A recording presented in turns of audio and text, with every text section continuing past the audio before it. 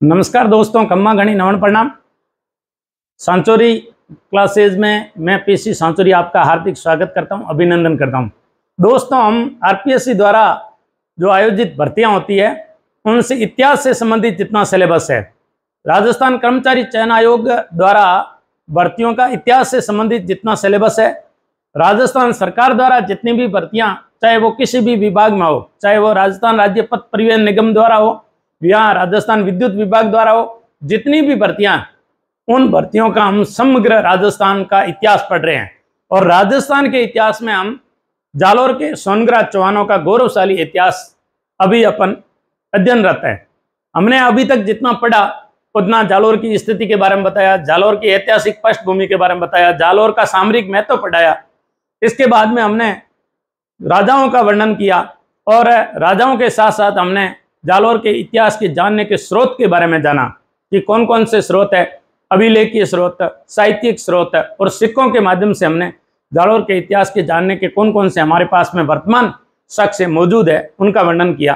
फिर हमने पढ़ा कि तू एक महान राजा, सोनगरा चौहानों का संस्थापक, कीर्तिपाल और उसके बाद में समर सिंह, उदय सिंह चाचिंग देव और सामत सिंह।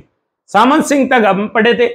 हमारा नेक्स्ट जो राजा है, वो राजा है सोनग्रा कन्नड़देव सोनग्रा कन्नड़देव जियाउद्दीन बर्नी भी कानरदेव के बारे में लिखता है और कानरदेव के पुत्र वीरमदेव का इतिहास। जियाउद्दीन बन्नी लिखता है और अमीर खुसरो भी जालोर के सोनग्रा चौहान कन्नड़देव और वीरमदेव की कहानी बताता है। फरिश्ता भी लिखता है मोणोत्नयन सी भी लिखता है। तो इस प्रकार हमें खूब सारी जानकारियाँ मिलती है, लेकिन हमने एक बताया कि पदम नाम ने कानरदेव प्रबंध लिखा और वीरमदेव सोनगरारी बात लिखी। उसमें हमें समग्र रूप से कानरदेव और वीरमदेव के इतिहास की जानकारी मिलती है। अब हम बता रहे थे कि सामंत सिंह जो जब बूढ़ा हुआ, शायद सोनगरा चौहानों में और हिंदुस्तान के बहुत समझदार राजाओं में से एक था, सामंत सिंह। उसने कहा कि हम तो बूढ़े हो चले अब बूढ़े वृद्ध लोग कितने तक शासन करेंगे? हमें इन जवानों के हाथों कमान सौंप देनी चाहिए, सोनगरा चौहाना के साम्राज्य की, और हमें भगवान की भक्ति में लगना चाहिए, मोक्ष की प्राप्ति के लिए। कहते हैं कि सामंत सिंह ने अपना राजपाट कानरदेव को सौंप दिया। और जब कानरदेव राजा था अब हम कानरदेव को अलग अलग दृष्टि से पढ़ेंगे। तो कानरदेव का समकालीन जो राजा था, वो दिल्ली पे, यहाँ रही दिल्ली, और दिल्ली पे कानरदेव के समय राजा था, यानी दिल्ली शलता नत उस समय यहाँ का राजा था एक के अलाउद्दीन खिलजी। अलाउद्दीन खिलजी का जालोर के किले पर आक्रमण का कारण क्या था? यानी ये इस सुवरणगिरी पर आक्रमण क्यों कर रहा था?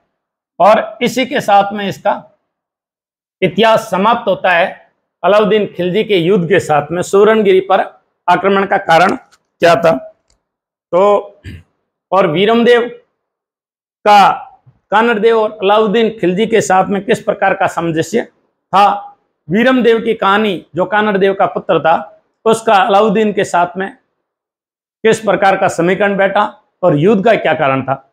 देखिए, ये रहा कानरदेव और उस समय दिल्ली सल्तनत पर अलाउद्दीन खिलजी था। हमने इससे पहले पढ़ा था, नासुरुद्दीन महमूद ने युद्ध किया, जलालुद्दीन ने युद्ध किया, बलमन ने किया, और उसके बाद में आता अलाउद्दीन खिलजी। और कानरदेव के समकालीन कौन था?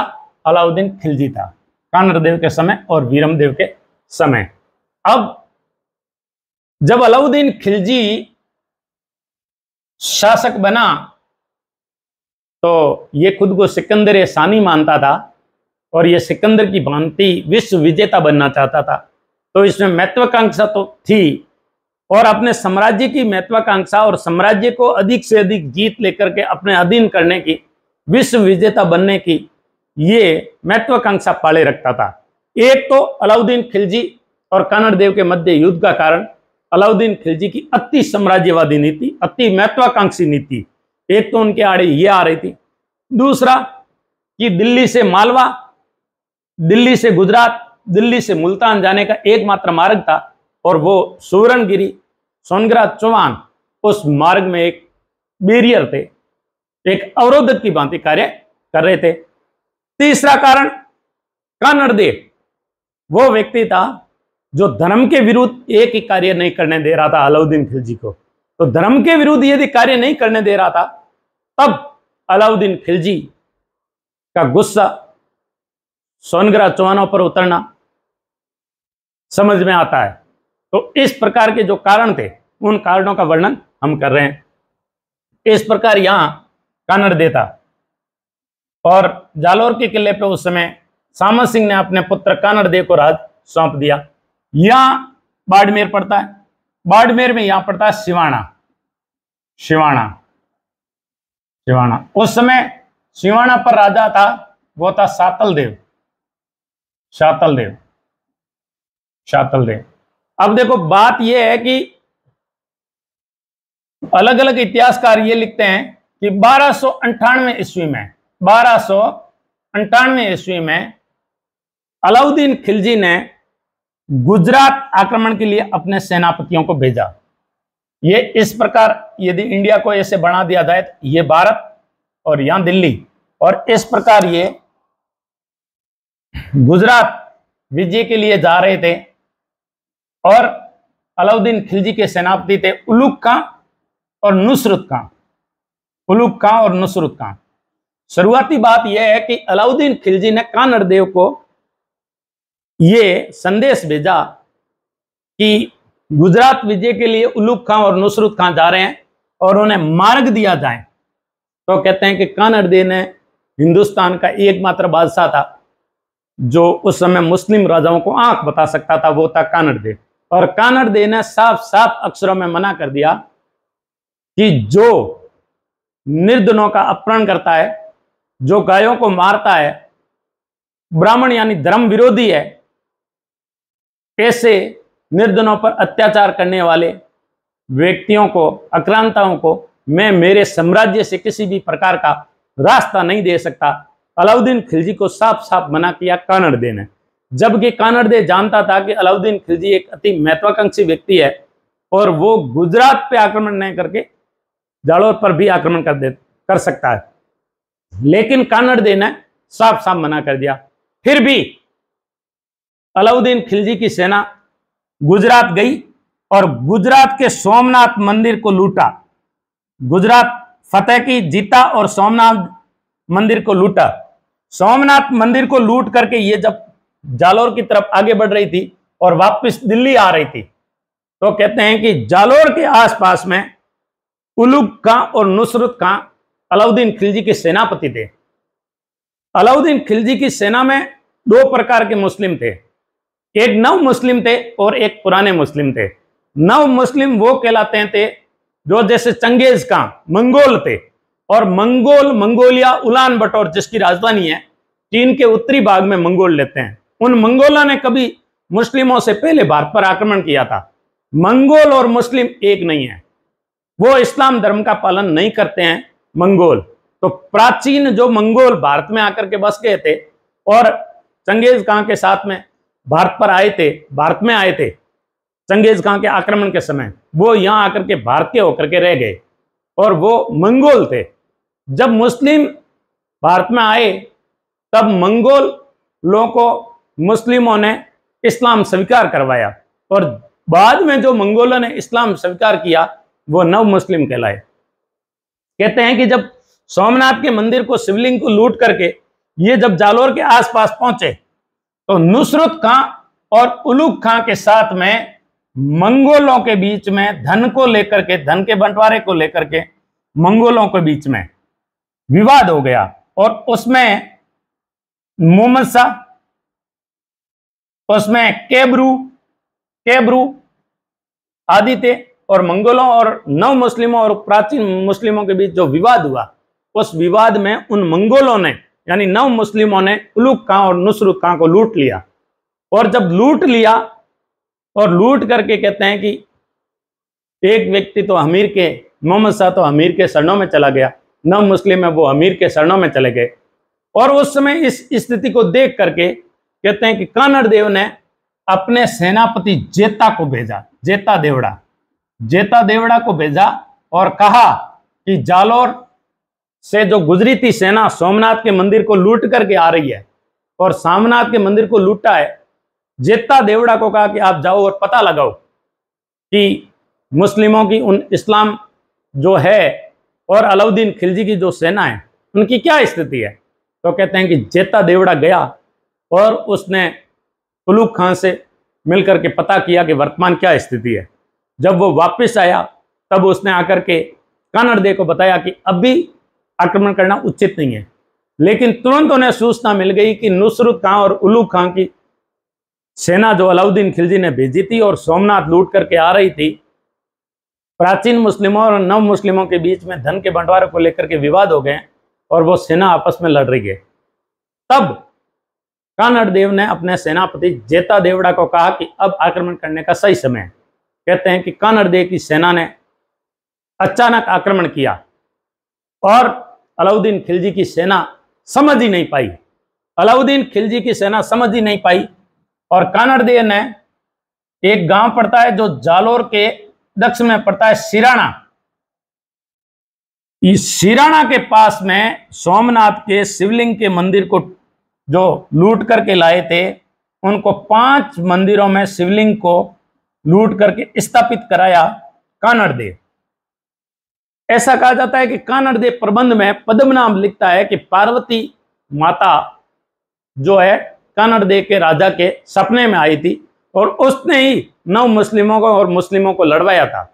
और लड़वाया तब कानड़ देव को बोला कि अब उचित अवसर है और तुम जाओ और सोमनाथ के जो शिवलिंग लूट करके उलूक खां और नुसरत खां आए हैं, उनसे लूट करके ले आओ। तब कहते हैं कि कानड़ देव ने जेता देवड़ा को, नेतृत्व में सेना भेजी। जेता देवड़ा ने लूट करके सोमनाथ के शिवलिंग के मंदिर को जो उन्होंने तोड़ दिया था, जो पाँच भागों में बंटा हुआ था, उसे पाँच मंदिरों में स्थापित किया और वो कहाँ करवाया? सिराना के आसपास। अब कोई कहते हैं कि जब लौटती हुई उलूक खां और नुसरुत खां की सेना पर, अलाउद्दीन खिलजी की सेना पर जब कानड़दे ने आक्रमण किया, तब अलाउद्दीन खिलजी उससे खिन्न हो गया और उसकी जो क्रोध है उसका, वो कोप भाजन का शिकार कानड़दे होना स्वाभाविक था कहते हैं कि उसने पाँच साल बाद में, छह साल बाद में 1305 में एन उल मुल्क मुल्तानी के नेतृत्व में आक्रमण किया। एन उल मुल्क मुल्तानी। एन उल मुल्क मुल्तानी के नेतृत्व में अपने एक सेनापति को भेजा और कहा कि तुम जाओ और अलाउद्दीन खिलजी ने एन उल मुल्क अपने मुल्तानी सेनापति को भेजा और कहा कि, कानड़ दे को जाकर के, सबक सिक्का के आओ। कहते हैं कि 1305 में एन उल मुल्क मुल्तानी की सेना जालोर के किले को घेरने के लिए आई। और जब जालोर के किले की स्थिति, जब कानड़ देव ने देखी, कानड़ देव ने कहा कि हार तो जाएँगे। और इधर एन उल मुल्क मुल्तानी, जो उनका मुल्तानी सेनापति था, अलाउद्दीन खिलजी का, वो बड़ा कूटनीतिज्ञ था, वो बड़ा चालबाज था। उसने कानड़ दे को कहा कि तेरे को मैं दिल्ली ले जाऊँगा और दिल्ली अलाउद्दीन के दरबार में तेरे को सम्मानजनक तरीके से बैठाऊँगा, तुझे इज़्ज़त बख्शाऊँगा, तेरा रेस्पेक्ट होगा और तेरी आन बान और शान में किसी भी प्रकार की कमी नहीं आएगी। और उसके ठगा करके, भुला करके, उसको बेकावा कर करके कहते हैं कि कानड़ देखो एन उल मुल्क मुल्तानी एन उल मुल्क मुल्तानी उसका सेनापति अलाउद्दीन खिलजी का सेनापति कानड़ को दिल्ली दरबार ले गया। और जब दिल्ली दरबार ले गया, कहते हैं कि दिल्ली दरबार में अलाउद्दीन खिलजी भी बैठा था। अब अलाउद्दीन खिलजी जब सिकंदर सानी की उपाधि धारण की और वो विश्व विजेता का सपना देख रहा था तो कभी कभी क्या होता है कि इंसान को अहंकार आ ही जाता है, कितना ही विनम्रता वाला है तो भी अहंकार आ जाता है। और वो विश्व विजेता का सपना देख रहा था तो उसने कानड़ देव की तरफ़ देख करके कहा कि हिंदुस्तान का कोई हिंदू ऐसा राजा नहीं है जो इस अलाउद्दीन खिलजी का सामना कर सके। कहते हैं कि कानड़ देव के आँखों में रक्त उतर आया और मन ही मन उसका उबाल आया और क्रोधित होकर के आग बबूला हो गया। लेकिन वो अलाउद्दीन खिलजी के दरबार में दिल्ली बैठा था। उसके बस का काम नहीं था। कहते हैं कि फिर भी उसने अपने को क्रोध के घूंट को पिया और दिल्ली से कहते हैं कि वो वापस जालोर आ गया।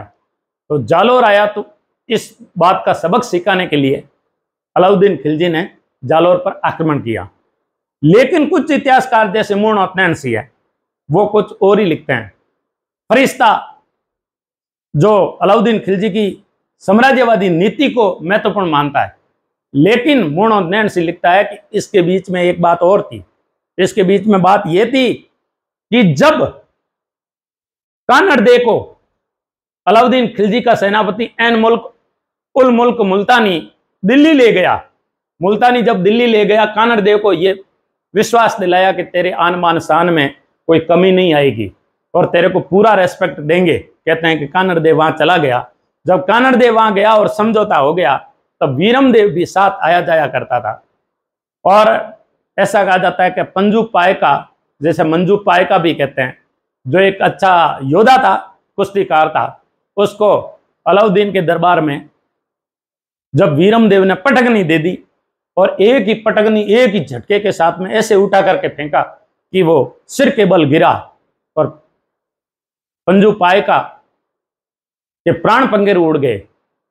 इस प्रकार एक योद्धाओं को, जिसने पूरे मुस्लिम योद्धाओं को धूल चटा दी थी और इस प्रकार कहते हैं कि जब वीरम देव ने एक झटके में उसे साल फेंका तो फिरोजा झरोके से देख रही थी और फिरोजा मन ही मन दिल दे बैठी और फिरोजा ने ठान लिया कि शादी करूँगी तो इससे ही करूँगी। मोहनाथ नैन सिंह लिखते हैं कि जब ये बात वीरमदेव को पता चली तो वीरमदेव ने स्पष्ट मना कर दिया और जब मरने मारने की बात आई तो उसने अपने साथियों को समझाया और अलाउद्दीन खिलजी के पास में ये बात पहुंचाई कि हम जालोर जाते हैं और जालोर जाकर के हम तैयारी करते हैं और फिर बारात लेकर के आते हैं। कहते हैं कि वीरम देव यहाँ आया और कानड़ देव को बात बताई तो कानड़ देव वैसे ही मना करने वाले थे और वीरम देव मना कर चुके थे। कहते हैं कि फिरोजा सज धज करके अपनी साई सेना लेकर के जालोर आई और जालोर आकर के उसने ये बात कानड़ देव को बताई। कानड़ देव ने मना कर दिया। और वीरम देव ने भी मना कर दिया। वीरम देव ने जो अलाउद्दीन खिलजी को चिट्ठी लिखी थी विवाह के ना करने में, कहते हैं कि, मामा लाजे, भाटिया कुल लाजे चौहान, जे मैं पढ़नी जो तुरकड़ी सु तो पश्चिम उगे बाण। यानी इस धरती के ऊपर सूर्योदय पूर्व की बजाय पश्चिम में उग जाए, क्योंकि मेरे मामा जो भाटी है, वो मेरे इस्लाम से मुस्लिमों से शादी करने पर, इस तुरकड़ी से शादी करने पर वो लज्जित होते हैं, क्योंकि ये कुल विरुद्ध शादी होती है। तो मामा लादे, भाटिया कुल लादे चौहान, और मेरा खुद का कुल चौहान है वो, लज्जा मरता है, वो बेशरम हो जाता है, और उसकी इज़्ज़त मिट्टी में मिल जाती है तो तेरे से मैं शादी नहीं कर सकता। ऐसा लेटर लिखते हुए कहते हैं कि अलाउद्दीन खिलजी ने, खिलजी को भेजा। अलाउद्दीन खिलजी ने फिरोजा की धाय माँ के नेतृत्व में एक बड़ी सेना भेजी। कहते हैं कि वीरमदेव उस युद्ध में मारा गया। वीरम देव का सिर कटा हुआ जो फिरोजा के सामने लाया गया तो कहते हैं कि सिर भी घूम गया था। तब फिरोजा ने कहा कि मैं जीवन जीवंत तेरे साथ में शादी के फेरे ले चुकी हूँ और मन ही मन तुझे पति मान चुकी हूँ और तू यदि इस प्रकार सिर तेरा मुख मेरे से विपरीत हो जाएगा तो मैं आत्महत्या कर लूँगी। कहते हैं कि उसने यमुना नदी में कूद करके आत्महत्या कर ली। फिरोजा का मकबरा जो जालोर के किले में स्थित है, ये बात इस बात की पुष्टि भी करता है कि अलाउद्दीन खिलजी ने उस फिरोजा के मकबरे का निर्माण करवाया। जो भी हो, कहते हैं कि युद्ध का कोई ना कोई चाहे फिरोजा और वीरम देव की प्रेम कहानी रही हो, और चाहे अलाउद्दीन खिलजी, फरिश्ता के अनुसार अलाउद्दीन खिलजी की एक महत्वाकांक्षी जो नीति थी, साम्राज्यवादी की नीति थी, जो भी रहा हो, लेकिन अलाउद्दीन खिलजी ने कानड़ देव पर, जालोर के किले पर आक्रमण किया और उसके क्या हमें परिणाम मिले? इसका वर्णन हम एक एक करके करते हैं। जब 1305 ईस्वी में एन उल मुल्क मुल्तानी अलाउद्दीन खिलजी की सेना का 1305 ईस्वी में 1305 ईस्वी में अलाउद्दीन खिलजी का सेनापति एन उल मुल्क मुल्तानी सेना लेकर के जब जालोर के किले पर आक्रमण किया तो उससे विफलता हाथ लगी और वो सफल नहीं हो पाया। इस बात का पता जब दिल्ली के सुल्तान अलाउद्दीन खिलजी को चला तो वो काल बाग बबूला उठा और उसने एक भारी सेना ली अलाउद्दीन खिलजी ने और जालोर के आक्रमण की तरफ़ बढ़ा। जब जालोर के आक्रमण की तरफ़ बढ़ा अलाउद्दीन खिलजी, अब जालोर के जो आक्रमण का नेतृत्व है, वो कमालुद्दीन गुरुग को सौंपा गया। कमालुद्दीन गुरुग को सौंपा गया। अब कमालुद्दीन गुरुग अलाउद्दीन खिलजी के साथ में एक बड़ी सेना लेकर के, क्योंकि एन उल मुल्क मुल्तानी 1305 में जालोर के किले पर विफलता हासिल कर चुका था। इसलिए अलाउद्दीन खिलजी आग बबूला हो उठा और उसने अपनी सेना कमालुद्दीन गुरुग के नेतृत्व में भेजी 1308 में। 1308 में जब कमालुद्दीन गुरुग सेना लेकर के दिल्ली से चला, तब उनके सिप सालारों ने एक सलाह दी। कि आप सीधी जालोर पे चढ़ाई करोगे तो आपको हार का मुँह देखना पड़ेगा, आप हार, आपको हार खानी पड़ेगी। तब कहते हैं कि कमालुद्दीन गुर्ग ने तेरह में सोचा कि क्यों न जालोर के किले पर आक्रमण न करके जालोर के आसपास के क्षेत्रों को पहले जीता जाए। और कमालुद्दीन गुर्ग ने 1308 में सबसे पहले जो आक्रमण किया, वो सिवाना पर आक्रमण किया। शिवाना पर। शिवाना बाड़मेर में पड़ता है। शिवाना बाड़मेर में पड़ता है। और सिवाना के अंदर एक वृक्ष होता है कुमट। कुमट अधिक होने के कारण इसे कुमट का किला कहते हैं, कुमट किला कहते हैं, और इसे प्राचीन साहित्य में कुंभाना का किला भी कहते हैं, कुंभाना का किला भी कहते हैं, कुंभाना का किला भी कहते हैं। ये जो बाड़मेर है, और बाड़मेर में यहाँ पर पड़ता मोकलसर मोकलसर मोकलसर की मटकियाँ प्रसिद्ध है। मोकलसर से सिवाना के मध्य छप्पन पहाड़ियाँ हैं। छप्पन निर्जन पहाड़ियाँ हैं। इन छप्पन पहाड़ियों को छप्पन की पहाड़ियाँ कहते हैं। इन छप्पन पहाड़ियों को छप्पन की पहाड़ियाँ कहते हैं। छप्पन पहाड़ियों में एक पहाड़ी है, उस पहाड़ी का नाम है हल्देश्वर पहाड़ी। हल्देश्वर पहाड़ी। इस हल्देश्वर पहाड़ी पे शिवाना का दुर्ग स्थित है। शिवाना का दुर्ग। शिवाना का दुर्ग चारों तरफ़ से कांटों से गिरा हुआ है और वन से गिरा हुआ है और एक पहाड़ी पर, हल्देश्वर पहाड़ी पर है। पहाड़ी पर स्थित होने के कारण इसे गिरी दुर्ग कहते हैं और चारों तरफ़ से वनों से घिरे होने के कारण इसे वन दुर्ग भी कहा जाता है। तो इस प्रकार इसे प्राचीन नाम इसका कुंभाना का दुर्ग और इसे कुमट अधिक होने के कारण कुमट का दुर्ग भी कहा जाता है। शिवाना का दुर्ग है, वो जालोर के दुर्ग का रक्षक कहलाता है। यदि जालोर पर आक्रमण करना है तो पहले सिवाना को जीतना पड़ेगा।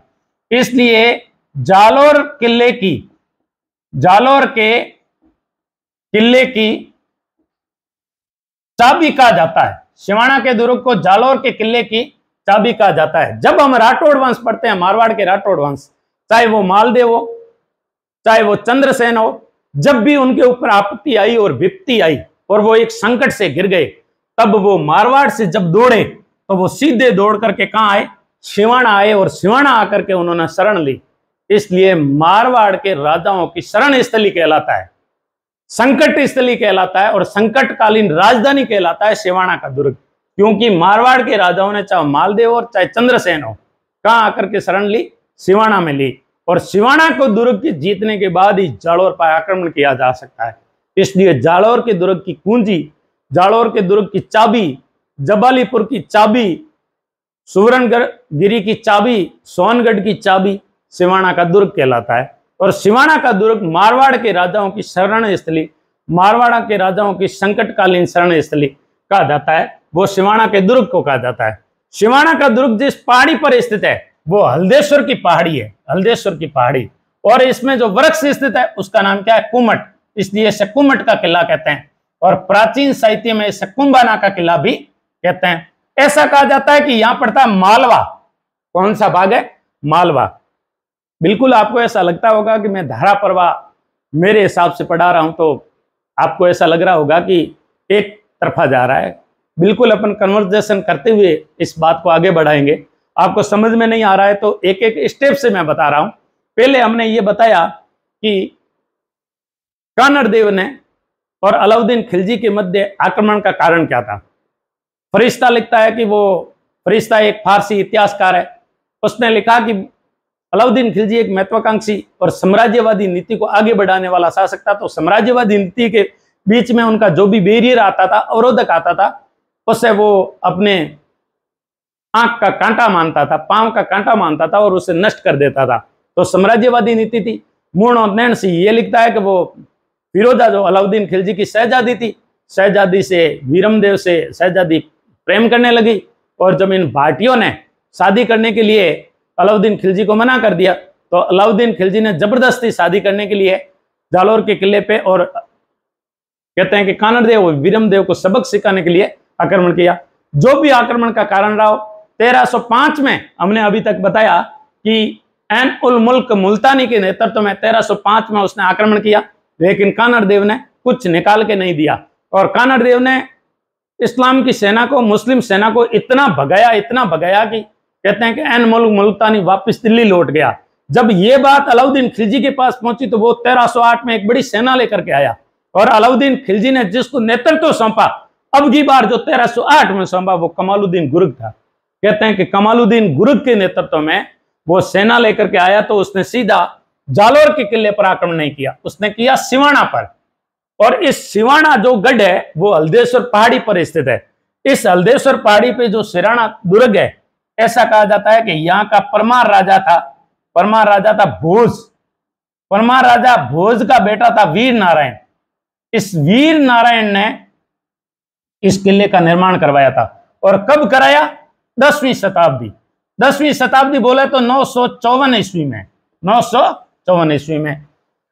परमार राजा मालवा का, परमार राजा भोज का कभी शासन सिवाना तक भी था। तो परमार राजा भोज के पुत्र वीर नारायण ने नौ सौ चौवन ईस्वी में सिवाना के दुर्ग का निर्माण करवाया।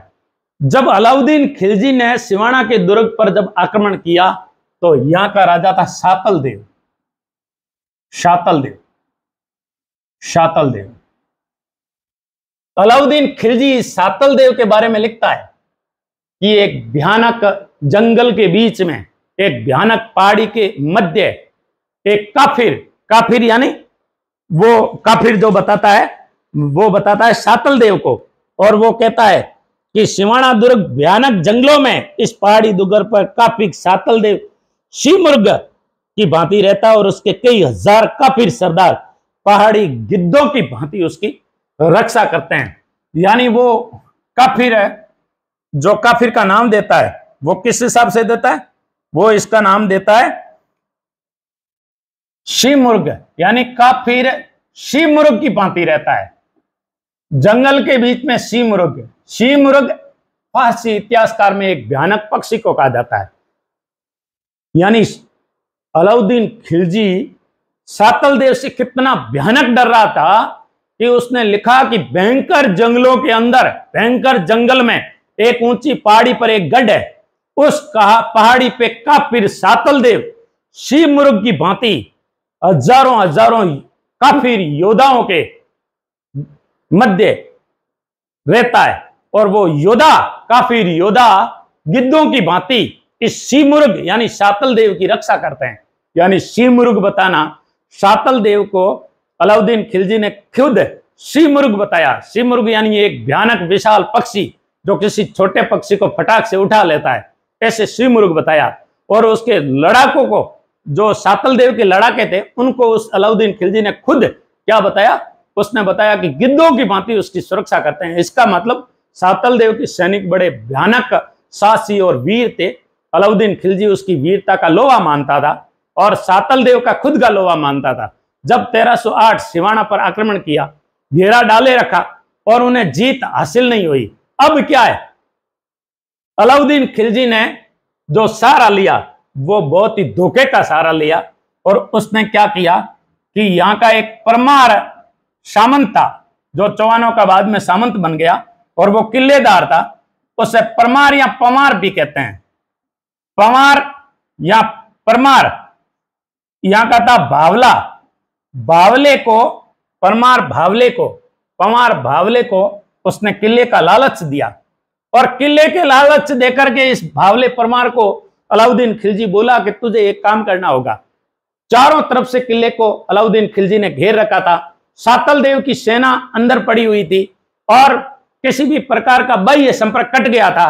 कहते हैं कि तभी इस परमार और पमार भावले को अलाउद्दीन खिलजी ने किले का लालच दिया और देकर के कहा कि ये ले, ये गाय का रक्त है और तुझे एक काम करना होगा, तुझे ये काम करना होगा कि जो सिवाना के किले में मामा दे का कुंड है और वो कुंड, मामा दे का कुंड ही एकमात्र जल का स्रोत था। बाड़मेर के सिवाना के दुर्ग में मामा दे का कुंड ही एकमात्र जल का स्रोत था। उसके अंदर इस बावले ने रक्त मिला दिया। जब बावले ने रक्त मिला दिया तो राजपूती सेना प्यास से तड़प उठी क्योंकि वो गाय का रक्त मिला हुआ पी नहीं सकते थे। इसलिए उन्होंने शातल देव ने कहा कि केसरिया वस्त्र धारण करो। राजपूती सरदारों ने केसरिया वस्त्र धारण किया और किले के दरवाजे खोल दिए। केसरिया वस्त्र धारण किए हुए अलाउद्दीन खिलजी के शब्दों में गिद्धों की भांति योदा मुस्लिम आक्रमणकर्ताओं पर टूट पड़े। और देखते ही देखते कहते हैं कि मुस्लिमों के दांत खट्टे हो गए और वो नौ दो बारह करने ही वाले थे। तभी शातल देव की पत्नी मैणा दे को लगा कि राजपूत हार सकते हैं। कहते हैं कि मैणा दे ने जब राजपूतों को केसरिया धारण किए हुए देखा तो मैणा दे ने ज़ोर का आयोजन किया और मैणा दे के नेतृत्व में ज़ोर का आयोजन हुआ और ज़ोर की ज्वाला जब किले से बाहर निकली कहते हैं कि अलाउद्दीन खिलजी की बाएँ खिल उठी और राजपूतों का मनोबल डाउन हो गया। इस प्रकार सातल देव वीर गति को प्राप्त हुआ। मैणादे के नेतृत्व में रानियों ने शिवाना के किले में ज़ोर कर लिया। इस प्रकार 1308 में 1308 में सिवाना के किले पे अलाउद्दीन खिलजी का आक्रमण जो किया गया, वो सफल हुआ। अलाउद्दीन खिलजी 1308 सिवाना के दुर्ग को जीत लिया। और कमालुद्दीन गुर्ग के जो नेतृत्व में हुआ था, इसमें भी अलाउद्दीन खिलजी को बहुत ही मुँह की खानी पड़ी थी, क्योंकि सातल देव ने जो सातल देव और सातल देव के जो सैनिक थे, उन्होंने जोरदार आक्रमण किया था। नार खां मलिक और खांदा दरा भोज, दो सेनापति थे अलाउद्दीन खिलजी के। एक था नार खां मलिक, नार खां मलिक, और दूसरा था खांदा दरा खांदा दरा भोज ये दोनों मारे गए थे राजपूतों के बल से। अब देखो, अब तक क्या अब क्या क्वेश्चन पूछा जा सकता है? शिवाना का दुर्ग कहाँ स्थित है? हल्देश्वर पहाड़ी पर छप्पन की पहाड़ियों की एक पहाड़ी है छप्पन पहाड़ियों में से एक पहाड़ी है, हल्देश्वर पहाड़ी। हल्देश्वर पहाड़ी पे कौन सा दुर्ग स्थित है? शिवाना दुर्ग। शिवाना दुर्ग के प्राचीन नाम क्या है? शिवाना दुर्ग के प्राचीन नाम कुंभाना का दुर्ग है, कुमट दुर्ग है शिवाना दुर्ग के और उपनाम क्या है? शिवाना दुर्ग के और उपनाम है। ये जालोर के किले की कुंजी कहलाता है। ये मारवाड़ के राठौड़ों की शरण स्थली कहलाता है। संकटकालीन राजधानी कहा जाता है। मारवाड़ के राठौड़ों के, चाहे चंद्रसेन हो, चाहे मारवाड़ के, मालदेव ने यहाँ शरण ली। राजस्थान का जब हम फ्रीडम मूवमेंट पढ़ेंगे, स्वतंत्रता आंदोलन पढ़ेंगे तो स्वतंत्रता आंदोलन में हीरालाल शास्त्री जब सीएम बने थे, उसके बाद में जयनारायण व्यास सीएम बने थे। और जयनारायण व्यास मुख्यमंत्री के नेतृत्व में प्रथम आम चुनाव हुए थे। और प्रथम आम चुनाव हुए जयनारायण व्यास के नेतृत्व में, वो जयनारायण व्यास, उनका जन्म तो पोखरण में हुआ था और उनकी कर्म स्थली जोधपुर रहा था। उनको अंग्रेज़ों ने कैद करके जो रखा था, वो शिवाना के दुर्ग में रखा था, उसे शेर राजस्थान कहा जाता है। लोकनायक जयनारायण व्यास को शेर राजस्थान कहा जाता है। शेर राजस्थान को आया हुआ क्वेश्चन है कहाँ रखा गया? शिवाना के दुर्ग में रखा गया। शिवाना के दुर्ग पे आक्रमण किसने किया? कमालुद्दीन गुर्ग ने किया। कब किया? 1308 में किया। जालोर के किले पे प्रथम आक्रमण कब हुआ? 1305 में हुआ। किसने किया? अन उल मुल्क मुल्तानी ने किया। जालोर के किले से पहले जब गुजरात पर आक्रमण किया, तब अलाउद्दीन खिलजी के सेनापतियों के क्या नाम थे? उलूग खां और नुसरत खां। इस प्रकार उलूग खां और नुसरत खां से लूटे हुए सोमनाथ के शिवलिंग को जेता देवड़ा के नेतृत्व में कानड़ देव ने कहा स्थापित करवाया? तो सिराणा सिराणा एक गाँव है जिसे जालोर के पास में है और जिसे शिवाना भी कहते हैं। एक जालोर शिवाना सिराणा गाँव पड़ता है जिसे सराणा भी कहते हैं। सराणा गाँव में स्थापित करवाया। तो ये क्वेश्चन पूछे जाते हैं कि जो सातल देव है, उसकी पत्नी का क्या नाम था? मेणा दे था। मेणा दे के नेतृत्व में किसका, कहाँ ज़ोर हुआ? वो हुआ सिवाना के किले में। सिवाना के किले का निर्माण किसने करवाया? खूब बार पूछा गया है। वीर नारायण ने करवाया। वीर नारायण परमार ने कराया, जो राजा भोज का पुत्र था। कब कराया? दसवीं शताब्दी में, यानी नौ सौ चौवन ईस्वी में। कुंभाना कुमट इसका दूसरा नाम है। और सिवाना के जो दुर्ग है, उसमें स्थित कुंड का नाम क्या है? ये मामा दे का कुंड कहलाता है। ये पूछा गया क्वेश्चन है। इसके अलावा जो क्वेश्चन पूछा जाता है, आप स्क्रीनशॉट ले सकते हैं। शिवाणा के दुर्ग को गिरी दुर्ग और वन दुर्ग भी कहते हैं। ये भी पूछा हुआ क्वेश्चन है। और नार खां मलिक और खानदारा भोज कब मारे गए? ये शिवाणा के दुर्ग पर आक्रमण के समय मारे गए। ये पूछा हुआ क्वेश्चन है।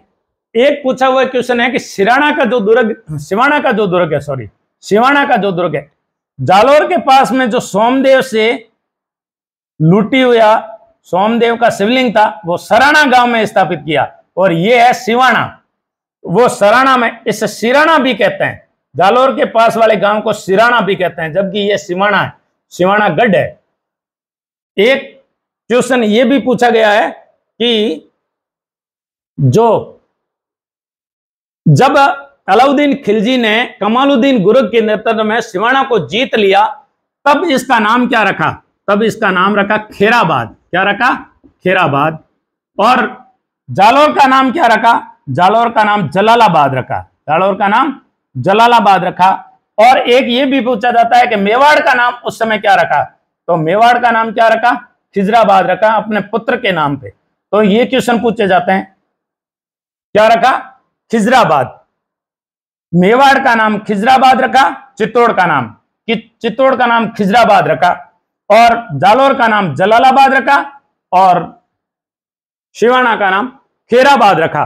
इस प्रकार ये क्वेश्चन पूछे जाते हैं। खेराबाद सिवाना का नाम, जलालाबाद, जालोर का नाम, और खिजराबाद, चित्तौड़ का नाम। ये किसने रखे? अलाउद्दीन खिलजी ने रखे। अब देखो, जालोर के पूंजी कहलाने वाले शिवाणा को जीतने के बाद अलाउद्दीन खिलजी ने जालोर पर आक्रमण किया और जालोर पर आक्रमण जब किया, तब किस प्रकार जेतल देव ने ज़ोर किया, उसके बारे में पढ़ते हैं। जब शिवाणा दुर्ग पर अलाउद्दीन खिलजी ने आक्रमण किया, तब एक तो जो कानड़ देव है वो मौज मस्ती में लगा रहा। कानड़ देव ऐसे ऐसे आयोजन करता था। कहते हैं कि एक नटनी थी और उस नटनी का नाम था सिंगारी नटनी। सिंगारी नटनी बड़ी शौकीन थी, बड़ी स्वच्छ साफ़ सुथरी रहने वाली और, एक ब्यूटीफुल लेडी थी और वो उनके कर्तव्य पूरे जालोर नहीं, मारवाड़ में प्रसिद्ध थे। श्रृंगारी को बैठे बैठे ऐसे सौंदर्य की बात निकली तो कानड़ देव ने हँसी मज़ाक में कह दिया कि एक पहाड़ से दूसरे पहाड़ तक है। यानी किले से सामने जो सिरे मंदिर है, सिरे मंदिर, एक सिरे मंदिर है जो गोरखनाथ जी के जालंधर नाथ जी, गोरखनाथ जी उनके मंदिर है। जालंधर नाथ जी वहाँ के देवता हुए हैं, जो नाथ संप्रदाय के है और कालांतर में मारवाड़ के मान सिंह ने कहते हैं कि जालंधर नाथ के नाथ संप्रदाय में आयस देव के वो चेले और शिष्य बन गए थे। और नाथों का मान सिंह पर पूर्ण प्रभुत्व था और वो उनके वश में थे, जैसे नाथ कहते थे, ऐसे मान सिंह करते थे। तो वो नाथ, उन नाथों का एक जालंधर नाथ का मंदिर है, जिसे श्रेय मंदिर कहते हैं। दो ऊँची पहाड़ी है। कानड़ देव ने उस संगारी को ऐसे चुनौती दी कि एक पहाड़ी से दूसरी पहाड़ी के मध्य बांधी हुई रस्सी पे यदि तुम इन पहाड़ियों को पार कर लें तो आधा जो शिवरणगिरी का सोनगढ़ का जो किला है वो तुझे दे दिया जाएगा। तो कहते हैं कि संगारी जब बीच में गई तो रस्सा, कहते हैं कि कन्नड़ देव ने कटवा दिया। तो और सिंगारी वहाँ मर गई। नट आज भी जो जाड़ोर के किले पे पानी नहीं पीते हैं। तो इस प्रकार के खेल आयोजन करना, जब सातल देव पर आक्रमण किया तो कानड़ देव चुपचाप देखता रहा। एक कानड़ देव के हार का कारण यह भी था। और कानड़ देव अपने स्थानीय जनता से जैसे नट उनके कौशल, कर्तव्य दिखाने में बहुत बड़ी होशियार थी। उनकी दुश्मनी भी मोल ले ली। जैसा भी है कानड़ देव अब 1308 जीतने के बाद में कहते हैं कि अलाउद्दीन की सेना जालोर के किले की तरफ़ आगे बढ़ी। जालोर के किले की तरफ़ ये जब बढ़ी, तब उसने पहले तो बाड़मेर को जीता। बाड़मेर के शहर में आग लगा दी। फिर इसने जालोर के सांचौर को जीता। जालोर के सांचौर को जीता। और जालोर के सांचौर को जीत के जब ये आगे बढ़ी, तब कहते हैं कि, और ये जो आगे बढ़ी, वो मलिक नायब के नेतृत्व में आगे बढ़ी। मलिक नायब नायब के नेतृत्व में। मलिक नायब के नेतृत्व में एक जालोर के अंदर एक यहाँ, जालोर से पहले एक गाँव पड़ता है। जब अपन जालोर से आगे की तरफ़, मोदरान की तरफ़ जाते हैं, एक गाँव, आशापुरी माता का मंदिर है मोदरान। सोनगरा चौहानों की कुल देवी है, वो है आशापुरी माता। आशापुरी माता, उसे महोदरी माता भी कहते हैं। महोदरी माता। उसका पेट बड़ा होने के कारण उसे महोदरी माता कहते हैं आशापुरी माता कहते हैं। सोनगरा चौहानों की कुल देवी है। उस मोदरान गाँव से आगे हम जाते हैं तो एक गाँव आता है दानसा गाँव। दानसा गाँव और रेवंती गाँव की जो राजपूतों की सेना थी, उसने बाड़मेर और जालोर के मध्य एक स्थान है जो जोधपुर के मध्य खंडाला। एक गाँव है खंडाला। जालोर, जोधपुर और बाड़मेर जहाँ मिलते हैं, वहाँ एक खंडाला गाँव है। और दानसा और रेवंती गाँव के राजपूत सैनिक गए और मलिक नायब की सेना को बुरी तरह पीटा। तो कहते हैं कि मलिक नायब है, वो मेड़ता की तरफ़ भागा और इधर पड़ता है नागौर। नागौर में मेड़ता की तरफ़ भागा। मेड़ता के पास में एक गाँव पड़ता मलकाना। मलकाना के युद्ध में मलिक नायब हार गया। मलिक नायब मलकाना के युद्ध में हार गया और मलिक नायब जब मलकाना के युद्ध में हार गया, तब मलिक नायब के साथ में एक सेनापति था समस्का समस्का और उसकी पत्नी को गिरफ़्तार कर लिया। कानड़ देव की सेना ने कानड़ देव की सेना ने समस्का और उसकी पत्नी को गिरफ़्तार कर लिया और मलिक नायब भाग करके मेड़ता की तरफ़ चला गया। और इस कानड़ देव की सेना का जो नेतृत्व किया, वो किया वीरम देव और कानड़ देव का भाई था एक मालदेव। मालदेव। ये मालदेव इतिहास में मुच्छला महादेव के नाम से प्रसिद्ध हुआ। मुच्छे रखता था लंबी लंबी। मुच्छला मालदेव। तो कानड़देव का भाई मालदेव और वीरम देव ने जोरदार मलिक नायब की सेना पर आक्रमण किया और मेड़ता के मलकाना युद्ध में हार का सामना करना पड़ा मलिक नायब को। यह बात अलाउद्दीन खिलजी के पास में पहुँची। अलाउद्दीन खिलजी ने जिस प्रकार सातल देव पर, सिवाना के दुर्ग पर कमालुद्दीन गुरुग को नेतृत्व सौंपा, ऐसे वापस पुनः 1311 के अंदर। कब? 1311 के अंदर जालोर के किले का नेतृत्व सौंपा और कमालुद्दीन गुरग और अलाउद्दीन खिलजी खुद एक बड़ी सेना लेकर के जालोर आए और जालोर आकर के उसने पड़ाव डाला। कई दिनों तक उसने किले को घेरा रखा। फिर भी कहते हैं कि कोई किसी भी प्रकार की जब उन्हें सफलता नहीं मिली कई कई साहित्य में जैसे वीरमदेव सोनगरारी बात साहित्य में पदमना बारह वर्षों का एक घेरा बताते हैं कि बारह वर्षों तक घेरा डाला रहा। लेकिन ऐसा कई घेरा संभव नहीं है। कहते हैं कि लंबे समय तक, पाँच से छह महीने तक जब घेरा डाले रहा तो अंदर अन्न जल की कमी हो गई और इधर जब अलाउद्दीन खिलजी कमालुद्दीन गुरु के नेतृत्व में दिल्ली से रवाना हुआ, तब किले की एक दीवार कच्ची थी और वो दीवार बननी बाकी थी। तो आनंद फानन में उस दीवार को बनाया गया और गेबर, गोबर से कच्ची बना करके, ऊपर से गोबर से लेप करके, ऊपर चूने, चूना कर दिया गया, ताकि जालोर के किले का प्रकोटा बहुत लंबा और ऊँचा है, ताकि दूसरी विदेशी सेना को यह पता नहीं चले कि कहाँ कच्चा है। कहते हैं कि एक ऐसा ही दैया सरदार था बीका। कौन सा था? दैया सरदार था बीका। बीका, दैया सरदार। दैया सरदार बीका को जालोर के किले का लालच दिया अलाउद्दीन खिलजी ने। अलाउद्दीन खिलजी ने दैया बीका को कहा कि यदि मैं जीत जाऊँगा तो तुझे जालोर की चाबी सौंप दूँगा और जालोर का किलेदार बना दूँगा और जालोर पूरा तेरे अंडर में रहेगा। दैया सरदार, लालच में आ गया, लोभ में आ गया और उसने अलाउद्दीन खिलजी को कहा कि जब तुम दिल्ली से चले थे, तब कानड़ देव ने यहाँ कोई कच्ची दीवार रह गई थी, उसे कच्ची बनाया गया है, दीवार रह गई थी, उसे कच्ची बनाया है। तो अलाउद्दीन खिलजी ने पूछा कि पता कैसे लगाए तो उन्होंने कहा कि राई है, उसको इकट्ठा किया जाए और किले की दीवार पर छिड़का जाए और ऊपर जल छिड़क दिया जाए। राई रातों रात उग जाती है, कहते हैं कि पूरे शहर में ढिंडोरा पीट दिया कि राई के भाव मुँह मांगे ले लो। तब कई लोग हैं, वो जल्दी जल्दी राई के भाव जो है ले लिए और कई लोग सुबह को उठे, तब तक अलाउद्दीन खिलजी ने राई लेना बंद कर दिया। तो कई लेट पहुँचे, उन्होंने कहा कि राई ले लो, राई ले लो। तो उन्होंने कहा कि राई के भाव तो राते गए, क्योंकि रात को ही छिड़कने के लिए काम में लेना था। तो दिन को ढिंडोरा पिटा गया और रात को छिड़की गई। कोई दूसरे दिन लेके आया तो राई के भाव तो राते गए। अब राई का कोई लेने वाला था ही नहीं। और राई जहाँ उग गई, वहाँ बारूद लगा करके तुर्की सेना ने, इस अलाउद्दीन खिलजी की सेना ने उस जो दुर्ग था, उस दुर्ग की दीवार को तोड़ दिया। और इस प्रकार जब सेना अंदर पहुँची ये बात दैया सरदार बीका ने अपनी पत्नी को बताया और पत्नी ने फटाक से जाके कानड़ देव को बताया। तब तक बहुत देर हो चुकी थी, कहते हैं कि खिलजी की सेना, अलाउद्दीन खिलजी की सेना परकोटे के अंदर आ चुकी थी, किले में प्रवेश कर चुकी थी और राजपूती सरदारों ने केसरिया वस्त्र धारण किया और कानड़ देव की पत्नी थी जैतल देव। जैतल देव के नेतृत्व में, जैतल देव के नेतृत्व में अग्नि संस्कार हुआ। यहाँ का ज़ोर हुआ और शाखा हुआ। इस प्रकार राजपूती स्त्रियों ने अग्नि में प्रवेश किया और राजपूती सरदारों ने केसरिया वस्त्र धारण करके अलाउद्दीन खिलजी की सेना पर टूट पड़े और उन्हें उनके दांत खट्टे कर दिए।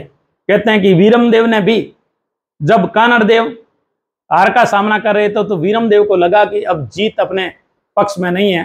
तो आशापुरी माता के मंदिर के सामने गए और उन्होंने अपने सीने के अंदर कटार घोंप करके आत्महत्या कर ली। ऐसी कहानी हमें इतिहासकारों से मिलती है। कहते हैं कि कानड़ देव के राज्य जालोर पर अलाउद्दीन खिलजी का अधिकार हो गया। अलाउद्दीन खिलजी ने वहाँ एक मस्जिद बनाई और जालोर का नाम जलालाबाद कर दिया। जालोर का नाम जलालाबाद कर दिया और जलालाबाद करके कहते हैं कि कानड़ देव का कोई भी परिवार का सदस्य किसी भी प्रकार से जीवित नहीं बचा। एक कानड़ देव का भाई बसा था मालदेव और उसने क... मालदेव ने अलाउद्दीन खिलजी की अधीनता स्वीकार कर ली। तब अलाउद्दीन खिलजी ने जालोर से हटा करके खिजर खां की जगह जालोर से हटा करके खिजर खां की जगह मेवाड़ के खिजर खां की जगह यह मेवाड़ था। और मेवाड़ का नाम उसने अलाउद्दीन खिलजी ने खिजराबाद कर दिया था। चित्तौड़ का नाम क्या किया? खिजराबाद जालोर का नाम क्या किया? जलालाबाद। जालोर का नाम जलालाबाद किया। और शिवाना का नाम उसने क्या किया? खेराबाद कर दिया। खेराबाद। इस प्रकार खेराबाद, जलालाबाद, खिजराबाद। और इस खिजराबाद की, खिजराबाद का जो शासन उस समय अलाउद्दीन खिलजी का बेटा खिजर खां चला रहा था। खिजर खां की जगह किसको सौंपा गया? चित्तौड़ का किला मालदेव को सौंपा गया। और मालदेव इतिहास के अंदर मूसाला मालदेव के नाम से प्रसिद्ध हुआ, बड़ी मूछाएँ रखता था। और ये कानड़ देव का भाई था।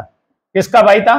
कानड़ देव का भाई था। कानड़ देव का भाई था। अब कहते हैं कि जब जलालाबाद कर दिया, तब उसने अलाउद्दीन खिलजी ने एक मस्जिद बनाई और इसे अलाउद्दीन मस्जिद कहा जाता है। अलाउद्दीन खिलजी की मस्जिद है, अलाउद्दीन मस्जिद कहा जाता है।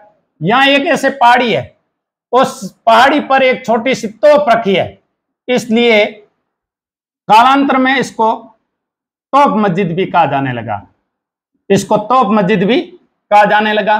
यह जो तोप मस्जिद है, यहाँ अलाउद्दीन की मस्जिद है, जालोर के किले में स्थित है। मलिक शाह का उर्स भी जालोर के किले में लगता है। जालोर के किले में अलाउद्दीन खिलजी की मस्जिद के बारे में पूछा गया। तोप मस्जिद कहाँ स्थित है?